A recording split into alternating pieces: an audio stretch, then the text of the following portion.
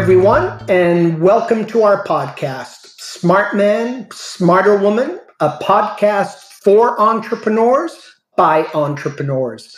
And thank you very much for joining us today. I am Steve Lotes. And I am Juliet Aurora. And we are your co hosts.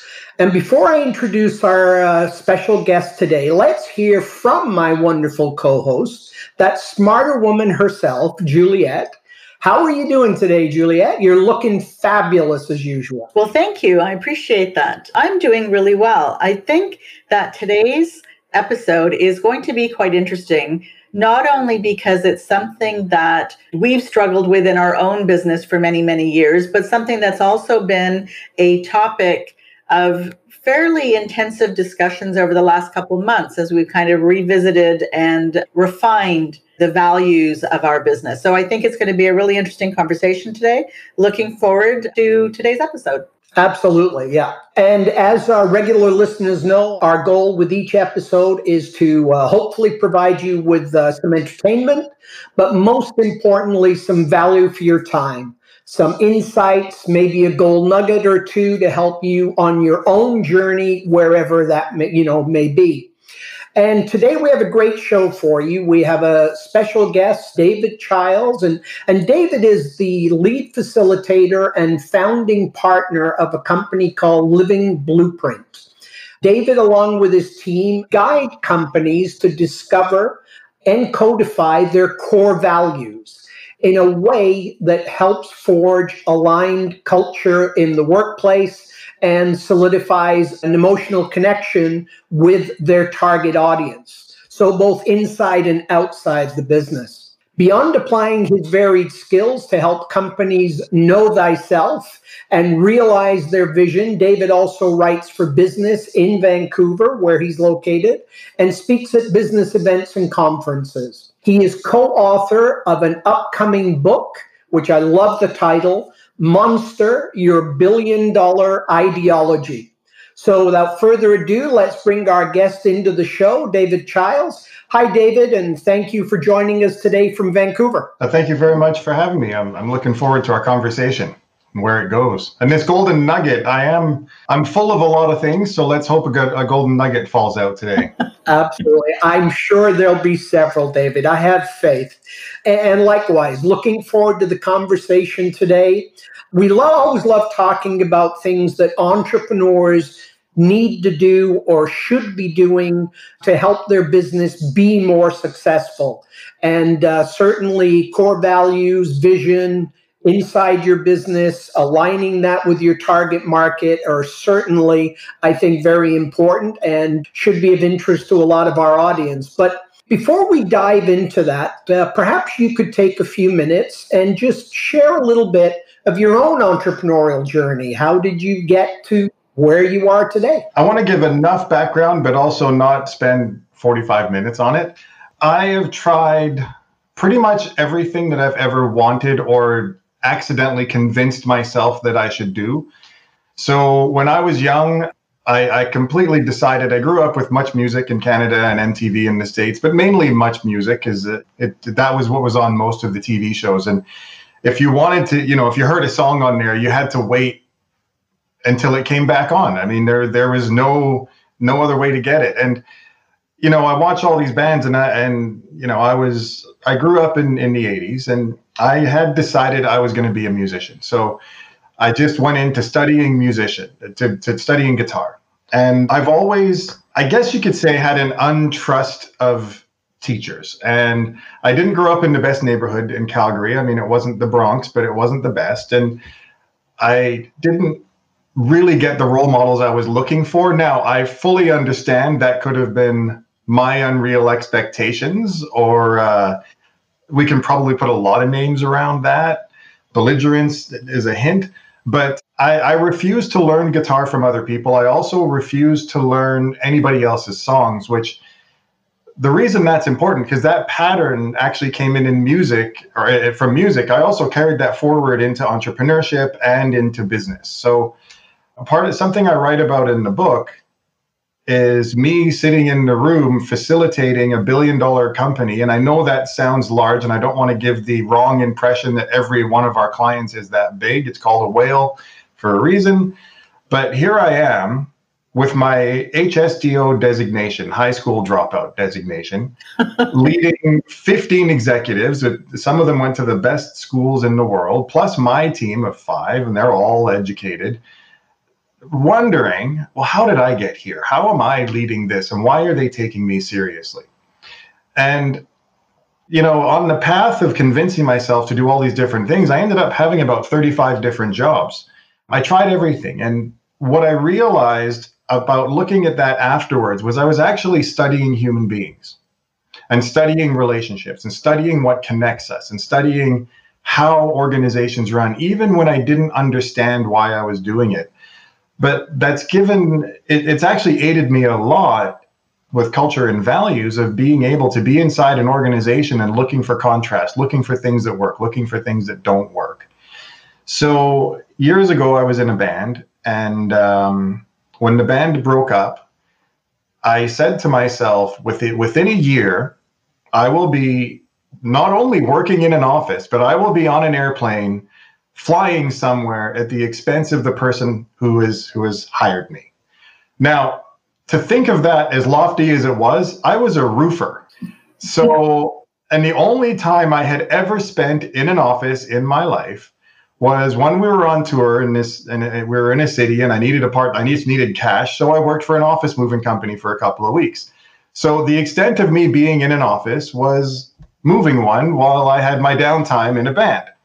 So the goal, and I, I, remember this distinctly, I was in Prince George when the band stopped, and I'm like, that's it. Within one year, I will be on an airplane flying somewhere for the, the office that I work in. And almost to the day it happened. And I, I didn't know what I wanted to do with myself. And all I could muster when I was talking to people, and I found this, I started doing flooring like I was doing anything. I moved back in with my parents when I was 27 years old just to, to recenter because I didn't know what I wanted to do. And I remember I had this one conversation with this guy that I was doing flooring with at the time. I was doing anything. And he said to me, What do you want to do with your life? And I said, I have no idea. And he gave me this look and he said, Yes, you do. You, you got to know something. And I said, Well, I like computers and I like art. And he pulled out this laptop, and this was 20 years ago. So laptops weren't everywhere back then, right? And he showed me AutoCAD and he said, Look, I'm building a deck for these people, and I made it in AutoCAD. And I was like, Ooh. So I got myself in an AutoCAD program. I had to try and find an explanation why I didn't have my high school diploma. So I just said it was lost in the mail because it was in a different city, so I could hide behind that. And I took AutoCAD. That led into 3D animation because I wanted, you know, I'd make something in 3D, then I wanted to do something with it. So I kept asking my teacher, I'm like, I made all these things. How do I make them work? How do I? The guy's like, well, that's that's animation. We don't teach that. That's not what AutoCAD's for. So I took an animation course. From there, I actually started my first company with two other people, which was an animation company. And this would have been probably yeah probably 19 years ago and the company didn't make any money however we had one contract who barely paid us and but we did get into film festivals. We got in toronto we got in tribeca we got in vancouver we got in brussels belgium. So we got a ton of play but we made nothing. So and at the same point i was now working in that office that i mentioned. I got a job at this remote sensing company a cartography mapping digital mapping company. This is when I learned I could sell myself to virtually anyone because I got an engineering job to create maps in a cartography firm, and I didn't even know what cartography was. So within about three months of having that job, I had my animation company going. And here's here's the funny thing. The day I got on the airplane to fly to Chicago to go for a conference was the same day my film was playing in the Vancouver Film Festival and I couldn't go. So I was like, you know what? These are both gifts. I will take them both. I didn't expect any of this, so I just went along with it. So I never got to touch any of the fame or anything about that. I just, my friend told me it was on. So from there, about three months into that job, my boss pulled me aside, Jake. He took me into his office, and this guy was an ominous fellow who liked, he was very theatrical in his own his own kind of evil way. And he was a very nice man, but he was kind of evil. And I sit in his desk, and he was backlit with these huge windows. He darkened the room. He sat me down, said, "Close the door." And I'm sitting there looking at him, wondering where this is going to go. And he says, "I understand you hate our website." Because I had mentioned something to some colleagues because it was crap. It was a long time ago. And I started backpedaling immediately. And goes, "No, no, no, no, no. That's all right. You are our new marketing director." Said, "What is a marketing director?" "You're the new marketing director." Like, please explain. And all he would say to me was, You're the new marketing director. And I sat there and I, I got up after a while and walked to the door and looked back and I said, And he's like, You're the new marketing director. So I don't know, it was about a week later. I decided, okay, fine, I'm going to do whatever I want. And that started me on a three year path to understand well, what is marketing? What is advertising? Because I had no idea. But with the animation company, I'd made a website, I'd done a bunch of stuff, and I knew graphic design and I knew that. So I ended up completely repositioning and rebranding the company. You know, separating all of the divisions because I used to go to the trade shows, so I knew our trade show booths were, com- were confusing. So I just spent three years figuring it all out. And one day I was I was I just realized, you know, I wasn't making a lot of money, and I realized, you know, if I if I did this for a lot of companies at once, I would make more money. And that was where the entrepreneur was born. That was honestly about halfway through. And I just looked at it and said, okay, well, if I'm going to do that, if I'm going to leave and start my own company, I need to finish this project. I can't. I can't leave halfway through and someone says, "What have you done?" And I say, "Well, I almost got a brand done once, and it was really neat." So, and, and it's funny. I did the math in my head, and I said it's going to take a year and a half, and it did. And when that came up, I put my letter of resignation in and I just packed everything up and I moved to Vancouver. And I didn't know anybody in the city. I didn't know how I was going to make money. I just rented an apartment, brought myself, my debt, my car, my desk, and my computer, and I just started networking.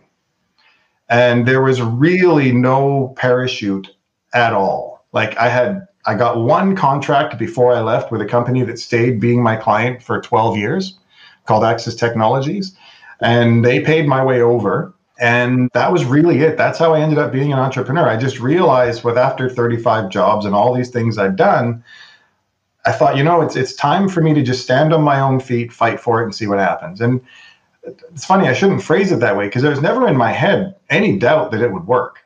It was just like, okay, this is me now. This is what I'm doing. And then the, the, trick was well how how can i meet as many people as possible? How can i network a minimum of three times a week every week? So that that was literally where living blueprint started and how it started. It was just all those weird sequence of events. But i tell you the 35 jobs have equipped me very very well to to lead and be in a boardroom and be able to communicate and talk to people. Absolutely. Absolutely. Well what okay so living blueprint.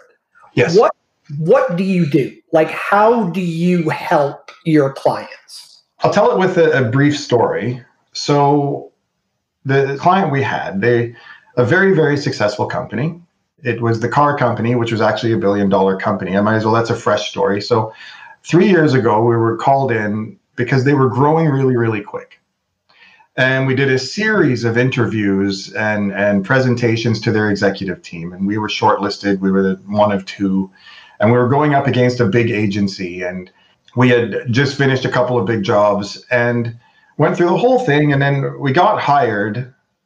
But when i sat with with the owner christian for the first time i met him after like six meetings or something crazy like that he just looked at me and he said you know we're growing quick. What if what if we think we're one thing and we're not that can you help us? That's what we want to know. And i'm changing what he said with words, but that's what he meant. Like, how do we know if we're correct in understanding who we are and where we fit into the world? And in the shortest form possible, that's what we do. Now, on one front, and I'm glad that you prefaced this earlier with saying that you've been kind of going through this and it's taken months. On one front, it looks easy. We sell cups to people who have a bunch of liquid and nowhere to put it. That's pretty straightforward, right? Pretty straightforward. However, there are some cups that are made out of crystal that go for an enormous amount of money, and there's plastic cups that go for one cent on on the internet. So it's not as simple as cups. And then you dig underneath the cup, you say, well, why do we make that cup and not that cup? What do we believe in? And then you go even one step deeper than that and say, well, why do people buy from us? What what in our story makes people buy from us? And we call it there's a harmonic note between those two things that only exists with you and your client market. That's why I'm never very interested in studying your competitors and understanding what they're doing because what am I going to learn from that? They're not you. I equate that to going into a store and, and you know meeting a nice young lady and you know buying the clothes she's wearing and giving them to my wife because they look good on her. It, there's no correlation. It doesn't make sense. And imagine trying to pull that one off. Here, honey, this looked really good on the girl in the story. You should wear it because it's hip right now. It doesn't work. Right. I love this story, your entrepreneurial journey, because I'm sure that there are people in our audience who have fallen into entrepreneurship, have known, you know, that they didn't really know where their place was and made a place for themselves. And I love I love the designation, the HSDO designation, because I bet you there's a ton of entrepreneurs out there as well who think that because they haven't been to college, they don't have the letters after their name, they don't have a designation that they can't be successful. And you are the mm. epitome to prove that that is not true, that it's the grit and the belief more than anything else that's going to get you to where you want to be. So I just, I wanted to, to highlight that in your story because I think that's very inspirational. And, and to be honest, Juliet, it was for a few reasons. There was the belligerence, which I mentioned earlier, but it was also premeditated because when I was young, I heard, and I, I have no idea what age this was, but I'm going to say it was below 10 I heard that 80% of the world's millionaires didn't finish high school. Now, let's just pretend that that's true for our conversation because honestly, I've pretended it's true for my entire life and I'm 46 now.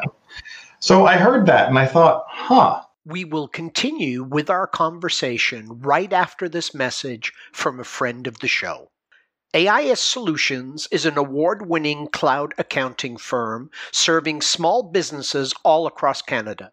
If you want to move your bookkeeping from the desktops of the dark ages to the cloud and get your financials wherever you are, whenever you want them, then contact AIS Solutions team of trained professionals today at www.aissolutions.ca.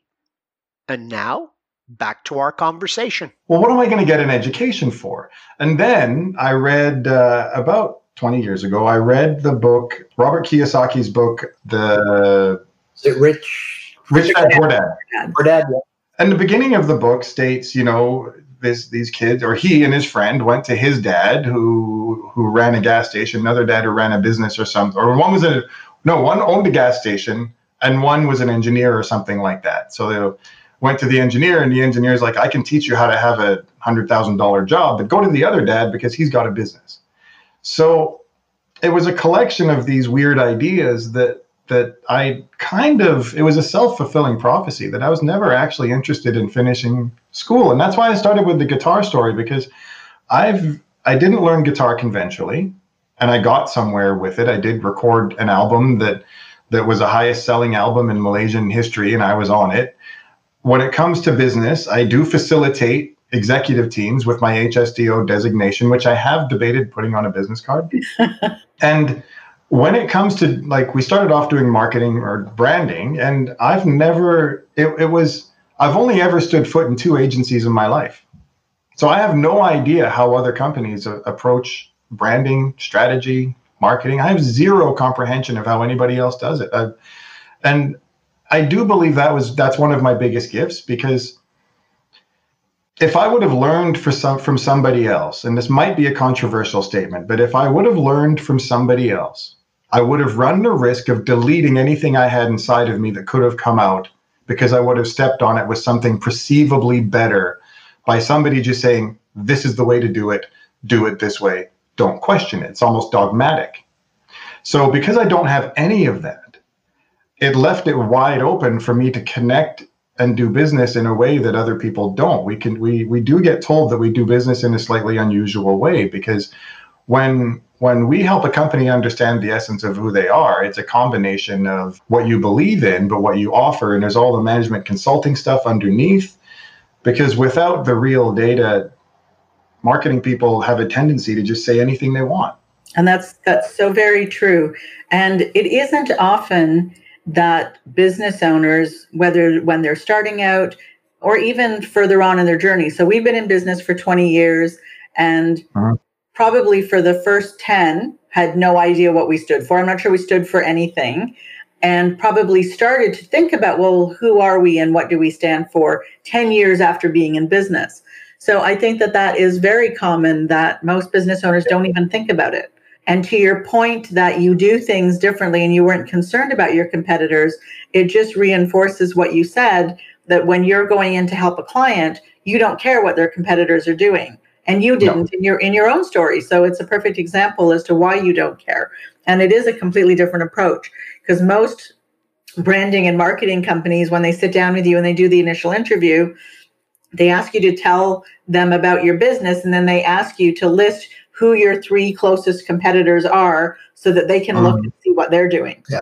And that's yeah. a completely different starting point from where you are. Yeah. And I think that's very sinister. And I'll just go one point and then I want to go to you, Steve there's this brilliant question that I've heard a lot of people ask, or that, that seems to float around is, you know, they're interviewing you, you know, you hire an agency and they're like, well, if you were a car, what car would you be? And You're like, well, I would be an Aston Martin. oh, good.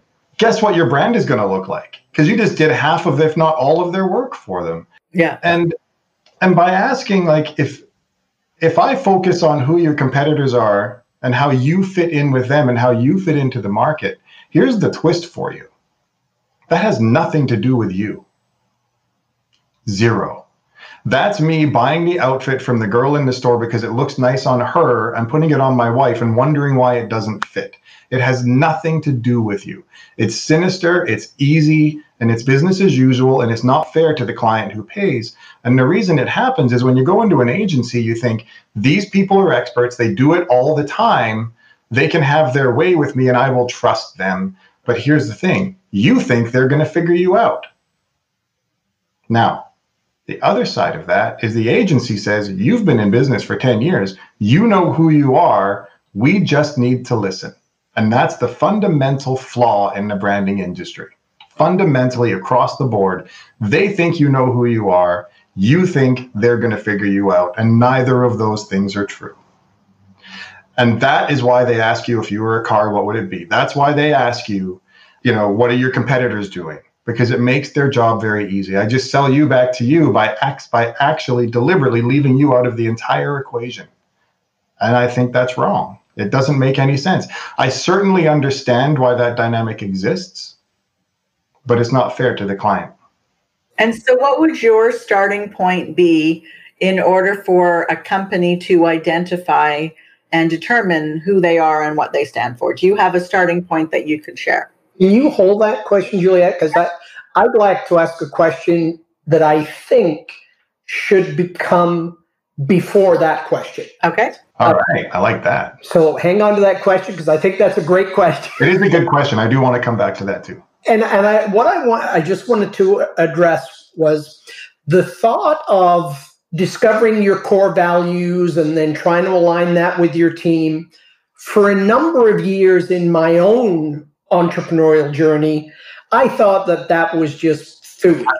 Like, just find me a customer, let me sell them some stuff, and I got a business. Yes. And it wasn't until much later in my journey that I started to realize how important that perhaps was that I we actually did reflect our core values.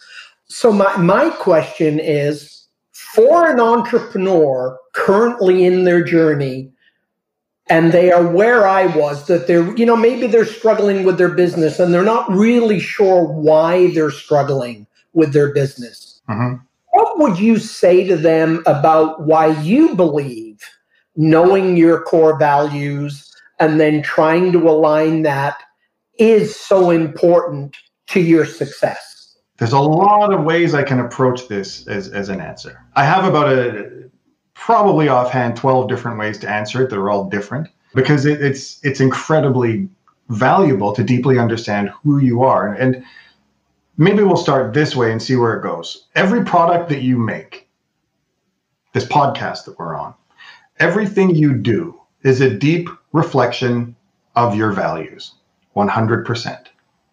So if you trivialize the one thing that is the reason for everything, it seems a little silly, doesn't it? Yeah. If you leave that out, what I want you to really understand and what I want you to really connect to is when you leave your beliefs out, you're actually leaving yourself out of the equa- out of the equation. You don't exist anymore. And now you're on the path to becoming a commodity. Now, there's nothing wrong with being a commodity unless you do it by accident. Unless you're in a space where intrinsic deep value is precedent. That's the most important thing. And you've commoditized yourself. Now, guess what? You're the cheapest guy on the block and you'll never change it. People are going to get a huge amount of value out of you and you're going to struggle to stay alive. And I can identify with that deeply because for me to start this business, we lost a lot of money because I wasn't willing to ask people what their favorite car was. If they were a car, what would it be? I wasn't willing to ask them about their competitors because I didn't care. We did a job years ago, and I never told the company because I, I, I didn't have enough history at that point. It was the biggest job we had at the time, the biggest client we'd ever had. And this was 15 years ago all of my stuff before that was small. But the guy who hired me saw something in me and ended up mentoring me and ended up being the best man at my wedding. And we're still friends to this day. But he saw something in me and he took a chance. What I never even told him, we were legally bound to do market research. So I did it. But I never told him when I did it. And when we did it was the day after I signed off on $50,000 worth of print items from the biggest printer in Vancouver. Then I did my market research. So I did it. I just never told him when. And about six months after that, we went to a, a, party of one of his competitors, somebody in the same industry, and it was in a big building downtown. And and you can't make this stuff up. This was true. And I'm standing in this guy's office. I didn't know who they were, and my you know my friend Kevin invited me. He was the client, and I'm talking to this very astute, very wealthy-looking gentleman, and he says, "Who are you?" And I said, "Oh, I work with this company." Oh, okay, what do you do with them? I'm like, well, I did all the, the branding, positioning, strategy, you know, communication strategy. I orchestrated and built all of that. He's like, you did that? I said, yes, I did. He said, I gave a presentation on that brand to our company to say this is how you're supposed to do it. And that could sound very egotistical, I guess, but the thing was, the thing that I knew was I never treated them like their competitors. And in the industry, it was in the mining industry. And at that point, you could buy an entire brand and marketing kit and everything you needed for five grand, website included. It was all templated and all put together, everything you needed. And they target, they knew exactly what to say, they knew where to put your numbers. They spent $120,000 with us. And we dominated their industry. They were a company that went in in the middle of a recession with no exit strategy, no products, no nothing, and they were doing their second round of investor where they were going from five million to raise twenty million dollars, and they did it with no liquidity event, nothing. And we did it on the basis of we honestly showed yes, we may not have a product right now, but we've got a whole office full of the top engineers in Vancouver. And we told the story of how they're doing exploration, and we deeply connected it to the market. We deeply connected it to what investors were looking for. And we gave them an absolutely world class brand that was nothing like anything else at the time. So, because I never treated them just like everybody else, I treated them like them and said, well, because I've been into a lot of offices at that point, like mining offices, and most of them it's a shared space downtown and there's like one guy or two people in a little tiny office with a shared receptionist these guys had like 5,000 square feet with 30 people in it, and most of them were engineers. I'm like, if people don't know that about them, you're dead in the water. Okay. Perfect. Did that answer your question there? I went off the rails a little bit there. I tend to do that. I apologize, but uh, did, that, did I get your did I get the answer you were looking for? Yeah, no, no. I, I think it was in there. It was in there. It was in there. Yes. So now let's go to my question. So yes. for the entrepreneurs that are that understand why it's important now and that they don't want to trivialize who they are and pull themselves out of the equation in the business. Yes. Where do they start? What is the first question they should be asking themselves to start down this journey? Can I be controversial? Absolutely. you have to look at yourself in the mirror and ask yourself if you have any dignity and self worth. Is there any reason for you to exist other than making money? Do I stand for anything? Do I deeply respect the people who buy from me? And if most of those answers come up as zeros, commodify your business and target your price and hit numbers. But to, you know, when you said after 10 years, you started to look at your business and say, what do we stand for? Well, here's the thing the mistake people make is they go out and read a book. They go to a conference and they listen to somebody very, very smart who's ahead of them. And then you start adopting traits from other people that don't natively exist within you. Imagine if Paul McCartney did that, and instead of singing like him, he started to sing like somebody else. Where would he have gotten? If he believed he should be somebody in a different voice, in a different way, would the Beatles have existed? He had to own who he was, what he had, and simply focus on that and have the self esteem to stand up and say, I don't care what anybody else is doing. I sing this way. This is what I do. So for you guys and for any business, if you've been in it for 10 years or five years or zero days, if you're Steve Jobs in a garage with nothing behind you, do we honestly believe Apple started with nothing behind him other than an idea? He didn't start at zero. So at 10 years, you have to look back and realize everything you've mas- manifested, that almost came out as a weird word, everything you've manifested is a direct result of your values, how you've connected to your market, how you talk to me, how you've done everything.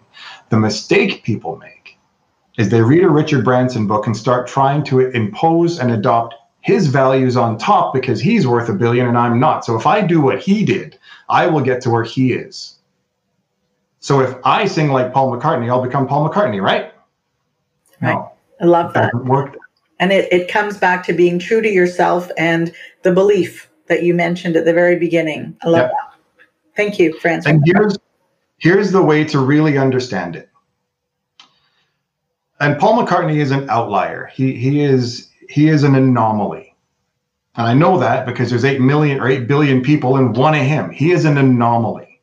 Now, why is he an anomaly? He has an innate skill and ability within him that I can't learn no matter what I do. There's nothing I can do to get his voice. That's impossible. I can't get it. I can't I can't wrestle him down to the ground and rip his larynx out and stick it into me. I can't get it. There's nothing I can do. Look at your business this way. What do you do that nobody else can do? That exists. And I'm telling all entrepreneurs, you have that. No matter what, you have that.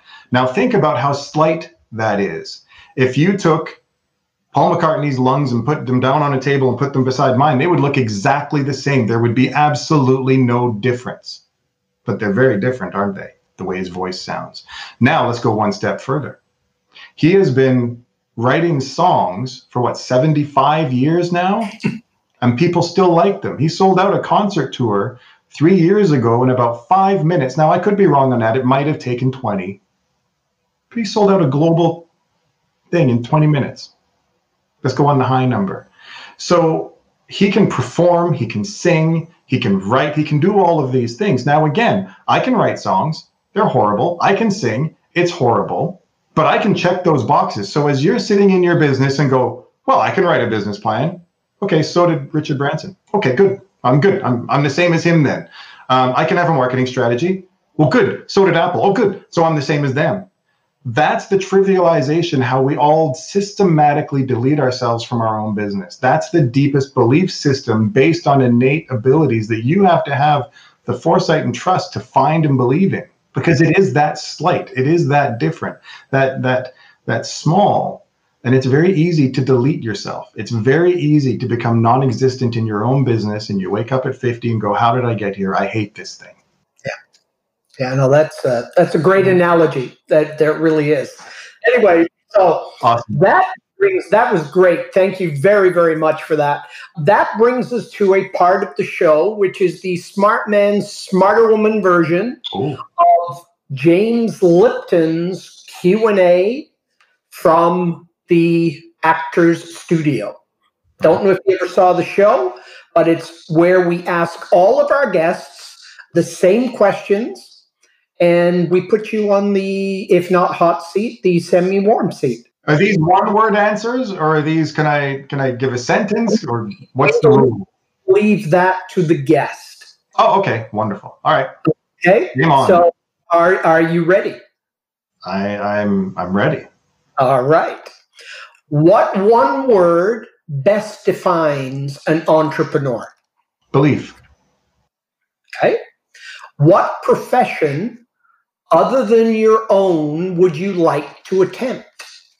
Comedy. What profession would you like never to attempt? Pretty much anything in leadership of government. What sound or noise do you love? Sound or noise do I love? My daughter's voice. Awesome. What book would you recommend every entrepreneur should read? This actually might be controversial. Um, there's a book written by um, Edward Bernays, and it was written at the turn of the 19th century called Propaganda.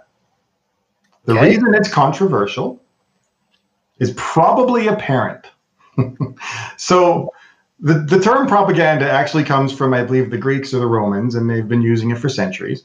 But he wrote the seminal book called Propaganda. And I think it was in 1908 when it came out, I believe. And Goebbels and Hitler thought it was wonderful, and they ran with it.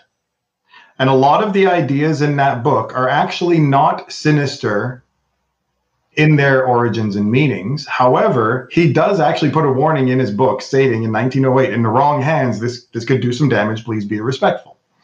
Now, the idea of the book, his, uh, his uncle was actually Sigmund Freud. And when he was writing this book, he sent cigars in trade for Sigmund Freud's work on irrational thought patterns in groups of human beings.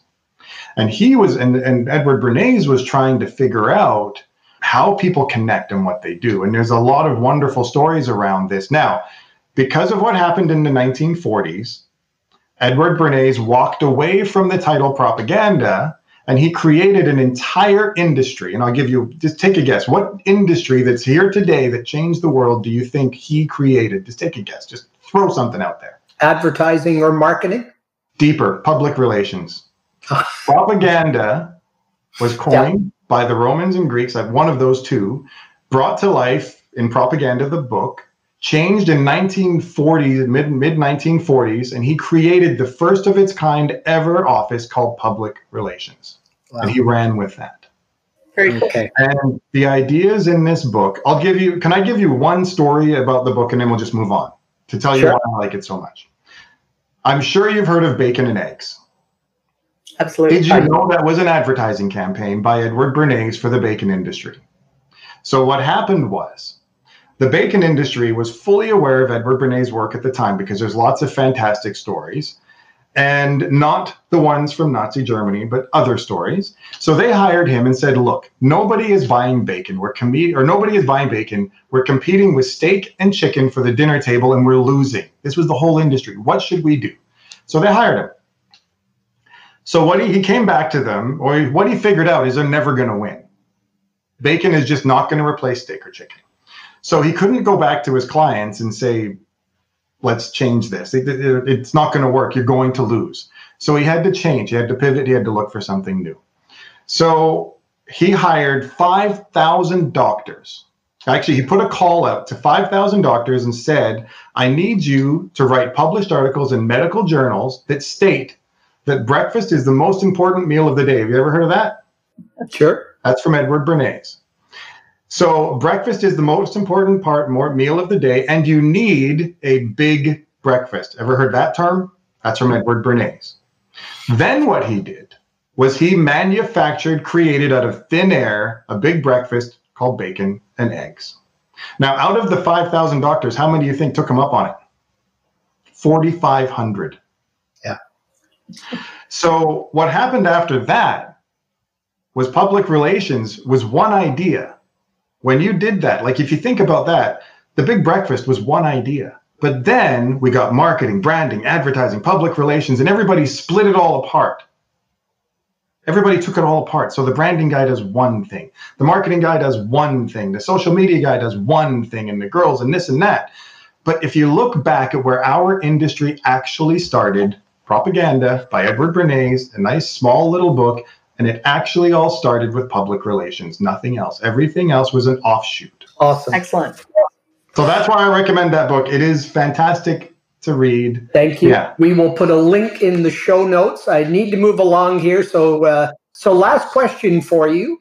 When your own entrepreneurial journey is completed, what do you hope your legacy is? The idea of Monster, my book, which is really understanding that if you isolate and understand your relationship with the world, your harmonic note with the world, you forget about everything else. You forget about marketing, advertising, you forget about all of that. And if I can teach entrepreneurs to be completely self aware and in harmony with their environments, which we can do over and over again, when people get the belief that that's actually possible and start acting accordingly, I think we're going to have better companies that make a better economy. People are going to be happier. And I do believe, and I know for a fact, there's a way to do it.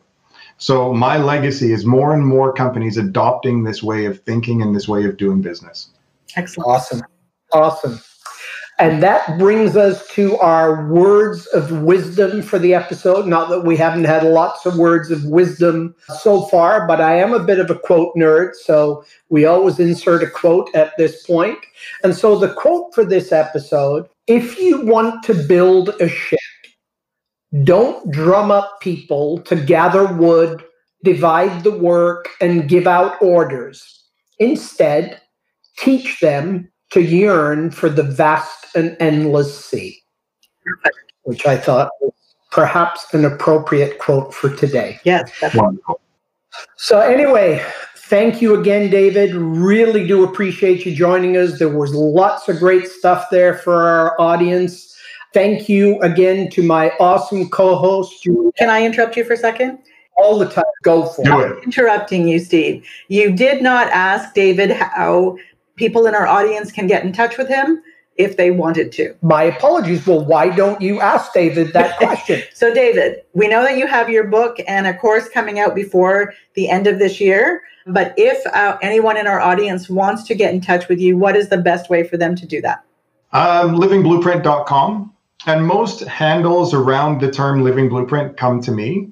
Also, David Childs, that if you look for David Childs, there's a euphonium player from Europe somewhere who unfortunately looks like me, who's quite famous, who owns davidchilds.com.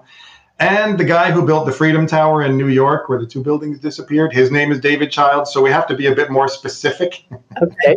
David Anthony Childs, that on Facebook and stuff like that. But typically through Living Blueprint, anything you click on there will take you to the book website because that's what we're really pushing and promoting at this point. But there is a contact page. Awesome. And I'm, I'm pretty accessible. There's no barriers between me at this point in my career of people who handle me and keep people away. If you call me, I will answer the phone.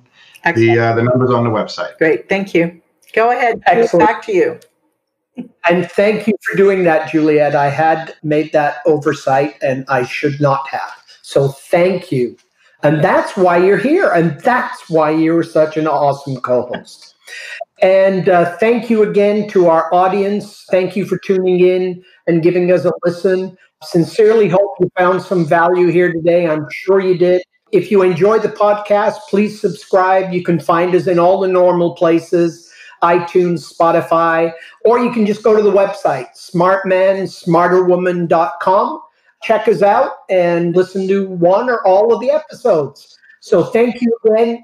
Until next time, take good care of yourself and those that you love. Bye for now.